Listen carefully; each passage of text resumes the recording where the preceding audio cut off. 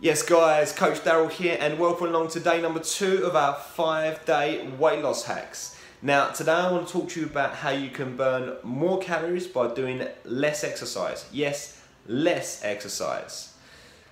Now this is good news for people that don't want to spend hours in the gym and that don't want to go for hour long runs every other day because who wants to do that, right? The most important thing about using this form of exercise is it's HIIT training, so it's high intensity interval training. Now, the prominent word there is intensity. It's the intensity that burns calories not only during your workout, but afterwards as well, which is what it's all about.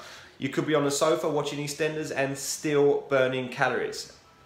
So, what you need to do is choose a piece of equipment. For example, it could be dumbbells, or you can go outside and walk and run, or you can swim, or anything you want to do. You can literally choose any exercise.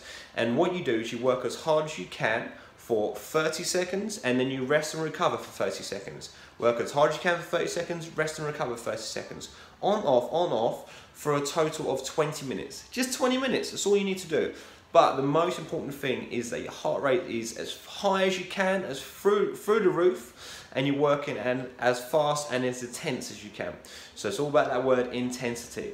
So just to reiterate one more time, 20 minutes of anything you want to do, 30 seconds on, 30 seconds off, high intensity interval training, you're going to burn a ton of calories during and a ton of calories afterwards. It's much more efficient than doing any form of training, any form of training to burn more calories at rest.